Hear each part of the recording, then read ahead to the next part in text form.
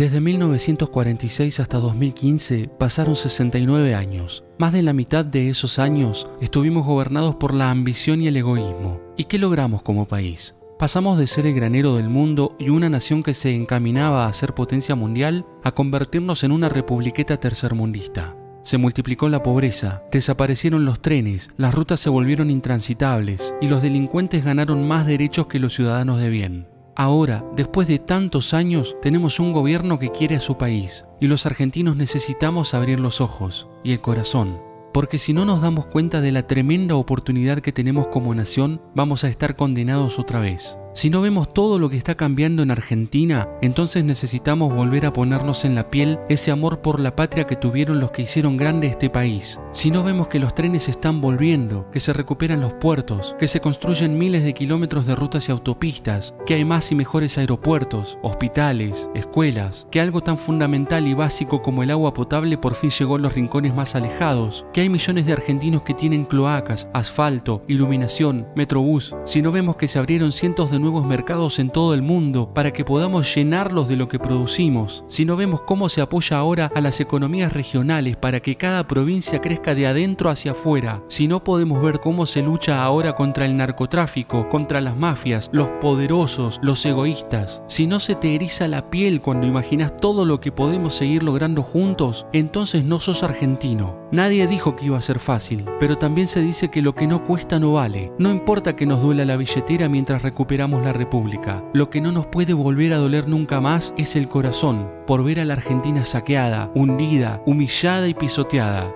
Cuando te digan que esta es la última oportunidad para que tus hijos y tus nietos vivan en un país en serio y te sientas sin fuerzas o sin ganas de seguir luchando, pensá que nuestros viejos y nuestros abuelos pensaron con el corazón y nunca se rindieron. Salí a la calle con una bandera, ponela en tu balcón y cada mañana cuando te levantás para ir a trabajar por un futuro mejor, ponete en la piel ese amor por el país que yo sé que todavía es más fuerte que cualquier otra cosa. ¡Vamos, Argentina! ¡Sí, se puede!